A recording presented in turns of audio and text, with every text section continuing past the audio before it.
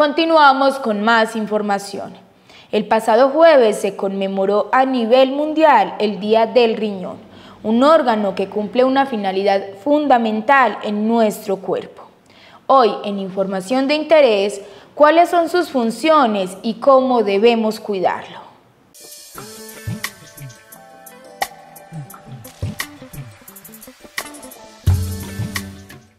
El segundo jueves del mes de marzo es el Día Internacional de Riñón, fecha en la cual se busca concientizar a las personas para que tomen precauciones y cuiden este importante órgano.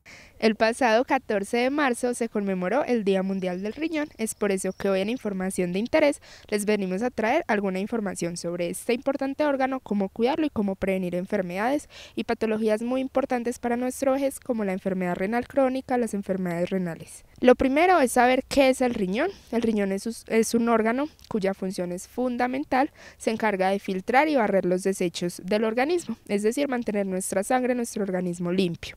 Es por eso que lo debemos pues mantener y cuidar sano. ¿Cómo lo vamos a cuidar? Alimentación balanceada, evitar los alimentos ultraprocesados, las bebidas azucaradas como las gaseosas, los juguitos de cajita, estarlos consumiendo muy frecuentemente.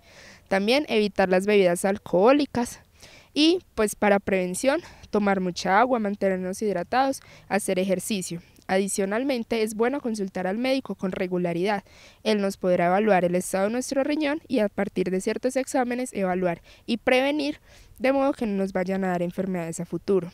También es importante para la detección temprana y con ello un tratamiento oportuno de las enfermedades. Las enfermedades renales son bastante comunes en la población, por eso debemos evitar algunos hábitos que pueden afectar severamente nuestros riñones. La deficiencia o alteración de alguno de los riñones puede alterar mucho nuestra funcionalidad de vida, enfermedades como la enfermedad renal crónica, la cual puede incluso llegar a hacernos dependiente de la diálisis. De forma aguda también hay otras enfermedades renales como los cálculos renales que se dan por la falta de ingesta de agua o lesiones renales agudas, las cuales nuestro médico sabrá aconsejarnos y sabrá cómo tratarlas en su momento. Recuerden que este órgano es fundamental para nuestra vida y que por eso lo debemos cuidar. Todos los órganos tienen cuidados especiales que logran el normal funcionamiento de cada uno, manteniéndonos en buen estado de salud. La conmemoración reciente fue por el Día Mundial del Riñón.